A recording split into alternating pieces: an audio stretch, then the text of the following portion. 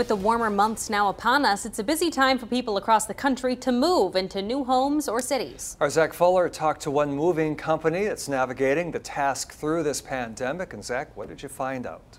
Yeah, good evening, Tom and Caitlin. I spoke with the company Two Men and a Truck, which says there are many safety precautions in place to deal with the pandemic.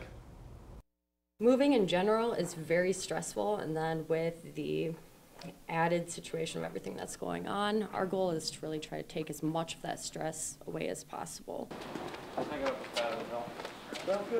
Which includes tips for anxious customers about whether moving will be safe. Heightened daily cleaning procedures uh, for shared touch surfaces. Um, leave soap and wipes, cleaning supplies out for the day of the move and pack those kind of last.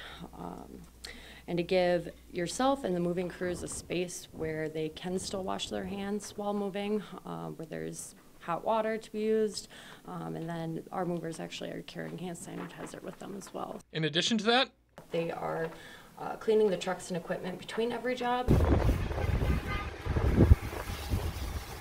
That's pretty much just added a couple more steps. You know, we got to be a bit more careful, keep everybody safe. You know, the employees and the customers. You know, so there's a little bit more, but nothing too bad. The pandemic did affect business at first. It, it kind of slowed down for a bit there, but it's been pretty steady, and you know, we're looking forward to the busy season there and getting back at it in full swing.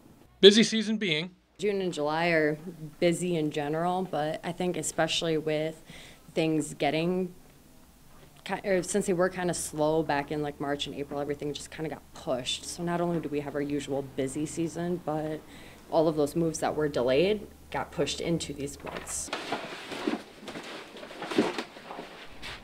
I'm told the movers will wear masks at the customer's request. Reporting live in the studio, Zach Fuller, KTTC News.